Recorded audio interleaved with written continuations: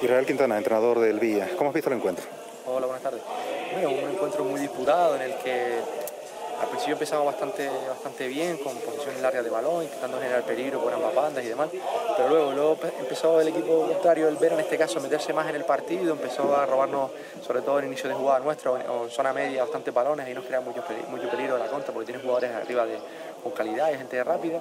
Y bueno, y a, partir de ahí pues el partido se volvió un poquito loco, que era lo que menos nos interesaba a nosotros. ¿no? Nosotros somos un equipo de, de llevar el partido con más, con más pausa, intentar llevar el partido con más control y cuando nos metemos, como suele decir, en un intercambio de golpes a nosotros no nos suele beneficiar.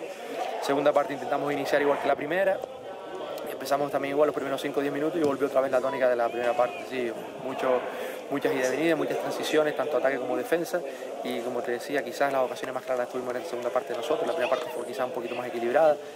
Y la segunda parte, pues como te decía, porque quizás tuvimos las mejores ocasiones, aunque ellos tuvieron alguna, una balón parada y otra una que saca mi portero prácticamente al final con el, con el 1-0 y al final, mira, ese penalti que, que nos ha dado la, la, victoria y nada, nos sirve para seguir consolidándonos, para seguir trabajando y pensar ya en la semana que viene, intentar recuperar algún jugador que ha salido tocado hoy y nada, pensar ya en el próximo partido del Marino y seguir trabajando. Eh, mejorando colectivamente, mejorando individualmente para ver hasta dónde podemos llegar este año. Eh, Trujillo, bueno, se lesionó muy, muy tempranamente en el partido, ¿eso te hizo cambiar mucho el esquema del juego?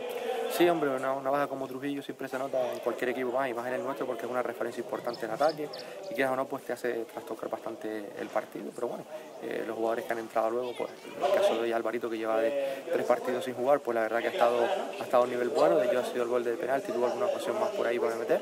Pero bueno, la verdad que contento con el trabajo del equipo, como te decía antes, seguir trabajando para seguir mejorando y, ya pensar en el próximo partido.